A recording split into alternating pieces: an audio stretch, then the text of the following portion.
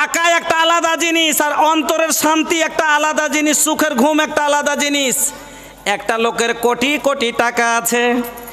কিন্তু আজকে গাড়ির কেস কালকে জমির ঝামেলা পরশু শরীরের অসুখ তারপর দিন বেটা বেটির লিয়ে পেরে বিবাদ। রাতে ঘুমাচ্ছে আর খালি একদিকে রাতে ঘুমোতে গেছে দিয়ে বলছে। "হুম, কি যে হবে? ট্র্যাক্টরটা যে কতদিনে বের হবে থানা থেকে? কত যে কাজের ডিস্টার্ব এক কট দিল। ফের এদিকে ঘুরে তখন মনে করছে ঘুমাবো, চেষ্টা করছে, ফের মনে পড়ে গেল। বৈষ্ণবনগরের বাজারের গোড়ার জমিটা নিয়ে এই ঝামেলা কতদিনে যে শেষ হবে? কেসটাও মিটে না, জমিটা রেজিস্ট্রি করাও দেয় না। ফের এক কটা হয়ে গেল, ঘুম আসে না। এদিকে হলো ছড়ির হার শ্বশুর বাড়িতে শান্তি নাই, কি যে করব? তালাক করে নিব তালাক করে নিব কি পেঠাবো জামাইও তো সালা দারু খর মদ পান করছে। শ্বশুরের শাশুড়িও ভালো লয়, খুব জ্বালাচ্ছে। জামাই খালি মারছার বলছে "ক- এটা আনে না, ওটা আনে না। যা যেটা নির সাথে বন্তি না এই বেটিটাকে নাহি আটকে গেলব একটা লোকের টাকা থাকলেও সুখের ঘুম নাই, আর একটা লোকের কাছে কোটিও নাই, লক্ষ নাই, হাজারও নাই। দিন মজদুরি করে তিনশো টাকা কামিয়ে আসলো। শরীরে অসুখও নাই, জমির কেসও নাই, বেটির ঝামেলা নাই, পড়োশির বিবাদও নাই। রাতে যেমনই আল্লাহ বে ইসমে কামতো আহিয়া পড়ে বিছানে, যেমনই বালিশে মাথা দেওয়া, আরামে ঘুম চলে এসে টেনশন থাকবে তাহলে তো মাথায় কিছু আসবে? আর ঘুম এখন নিয়ে, এখন ঘুম মনে আছে, যেমনই বালিশে মাথা দেওয়া।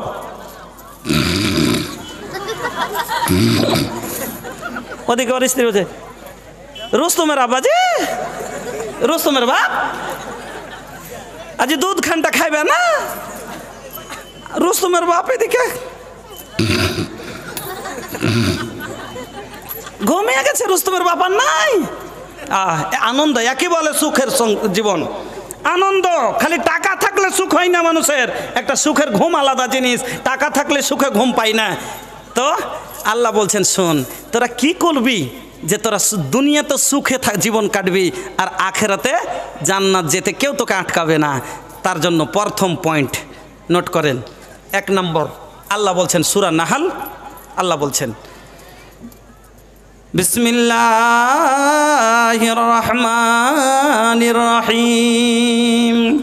من عمل صالحا من ذكر أو أنثى وهو مؤمن فلا نحيينه حياة طيبة ولنجزينهم أجرهم بأحسن ما كانوا يعملون এক নাম্বার পয়েন্ট আল্লাহ বলছেন যে ব্যক্তি মান আমেলা যে ব্যক্তি কর্ম করল, সলেহান নে কর্ম, নেক আমল। এই যে আপনারা দানটা দিলেন, এটা নেক কর্ম কিনা?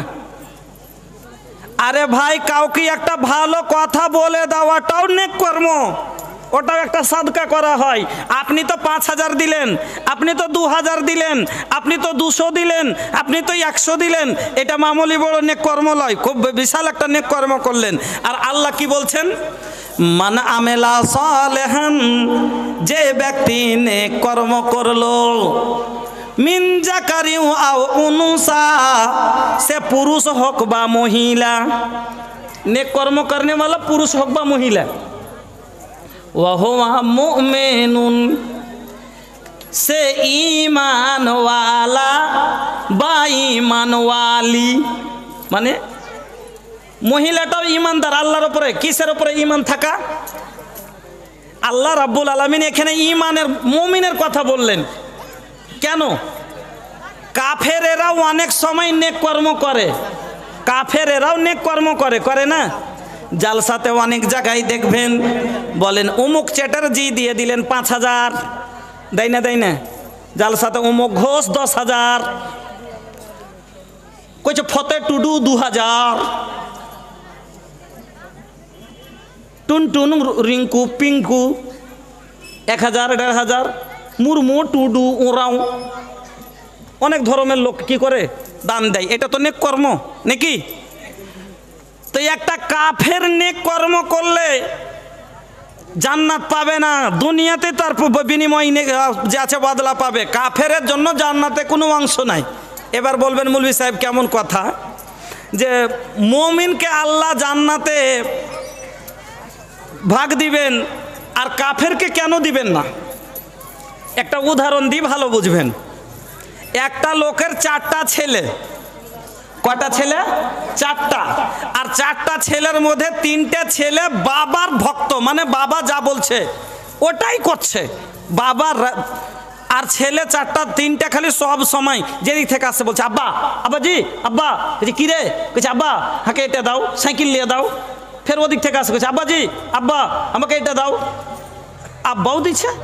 আর আব্বাও যখন ছেলে তিনটাকে বলছে, এ, তোরা মাঠে যা তো। যেমনই বলল, বলবে না যে, আব্বা, বৃষ্টি হচ্ছে তো এখন যাব না, পরে যাব। যেমনি বলল, বৃষ্টিতে ছুটলো। আব্বা বলছে, তোরা নদী যা, সবটি জলে নেমে গেল, বলবে না ঠান্ডা লাগছে। আব্বা বলছে, তোরা বুটটা কাটতে যা যেমনি বললেন, তেমনি চলে গেল। মানে যখন যেটা বলছেন, রাতে বলছেন, দিনে বলছেন, যখনই বলছেন, চলে গেল। আর একটা ছেলে আরও তো আছে। ওকে যেমনই বলছে, সালাম, তোর চাচির বাড়ি যা। কইছে, আমি যাব না। কই বলছে যে, তুই একটু বাজারে যা। সবজি লিয়াই বলছে, পারব না। কইছে, ভুট্টা কাটতে যা। কইছে, করব না। কইল, তাহলে তুই কি আঁকে আব্বা বলে মানিস না? কইছে, না মানি না এবার আব্বা জমির ভাগ করতে বসেছেন। আপনারই একটা ছেলে আপনাকে বাবাই মানে না, আপনার একটা কথাও মানে না, আর তিনটা ছেলে আপনার খুব ভক্ত। আব্বা আব্বা বলছে, আর আপনার যখন বৃষ্টিতে আর রোদ্রে যখ মাঠে, ঘাটে, যখন যেটাতে বলেছেন সেটাতেই চলে গেছে। আপনি সম্পত্তি ভাগ করতে বসে, আপনি কি করবেন? নিজেই বলেন তো এটা বলবেন কিনা যে আমার এই তিন বেটার নামে লিখে দাও, ওই বেটাকে আমি দেবো না। কেনে? ও আমাকে আব্বাই মানেনি, তো বাপ মানেনি, তো ওকে বাবার সম্পত্তি কেমন করে পাবে? ওকে আমি ত্যায্য পুত্র করলাম। এই জন্য আল্লাহ কাফের জন্য জান্নাতে ভাগ রাখেনি। কাফের আল্লাহকে মানেনি। আল্লাহ মমিনকে যখন বলে, মমিন নামাজে যা, বৃষ্টি হলো মসজিদে যাই, পাথর পড়ল মসজিদে যাই। আল্লাহ বলেছেন, মসজিদে যা, শীতে ঠান্ডা, হাড় কাঁপানো ঠান্ডা থুরথুর করে কাঁপতে আছে, তবু সালাম মিয়া মসজিদে।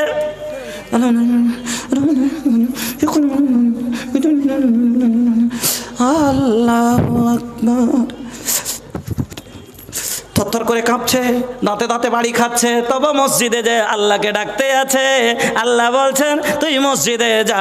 মসজিদে গেল, বৃষ্টি হচ্ছে, আল্লাহ বলছেন, তুই না, মসজিদে যা গেল। খিদাই পেট কামড়াচ্ছে, ভোকে শরীর চলতে চাই না। তবু বলছে, আল্লাহ বলছেন, তুমি কি করো? রোজা রাখো, কয়দিন পরে রোজা আসবে? যখন রোজা আসে, এই মুসলমানের গ্যাস তখন বেশি হয়ে যায়। মুসলমানের গ্যাস বেশি হয়ে যায়। সুবাহ আল্লাহ তখন যাব বলি সাহেব, পারি না জি। ও মুসলমান, আল্লাহ রাব্বুল আলামিন কাফেরদেরকে দিবেন না, আপনাকে আমাকে জান্নাতে কেন ভাগ দিবেন, হিস্সা দিবেন?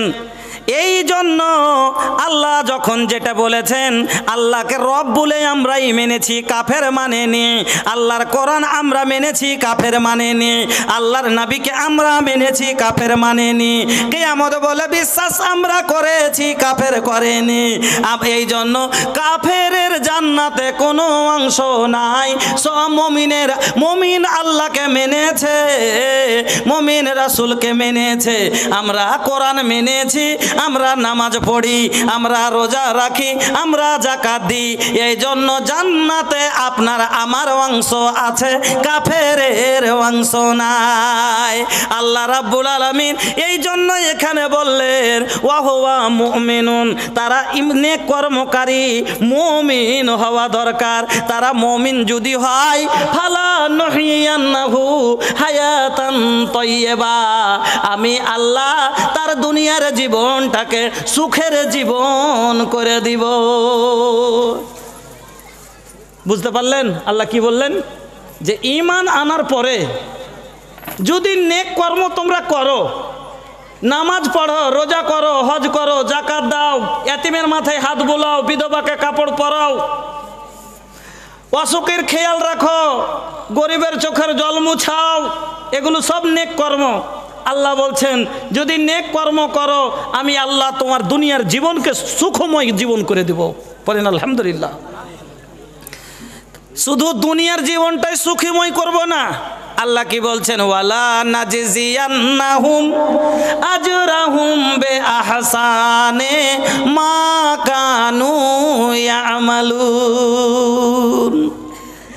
দুনিয়াতে তোমাকে সুখে জীবন কাটতে দিব। এবং তোমার নেক কর্মগুলো তোমরা যে দরিদ্রে সেবাই দু হাজার দিলা এক হাজার দিলা, একশো দিলা, তোমরা যে নামাজ পড়ো, তোমরা যে রোজা করো, তোমরা যে হজ করো জাকাত দাও, এই নেক কর্মগুলোর বিনি তোমাকে আমি আল্লাহ ভালো বদলা দিব। কি বদলা দিব? আমি আল্লাহ তোমার জন্য তোমার ঠিকানা জান্নাত করে দিব। দুনিয়াতে তোমাকে সুখে রাখব আর আখেরাতে তোমাকে জান্নাতে তোমার ঠিকানা করব। এবার আপনার মনে সন্দেহ হতে পারে এই জন্য আল্লাহ আপনার সাথে ফের ওয়াদা করছেন, কি বলছেন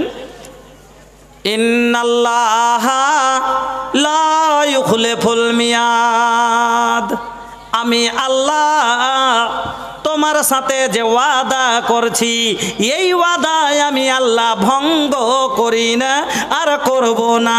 তুমি নে কর্ম করে দেখো, আমি আল্লাহ তোমার জীবনকে সুখম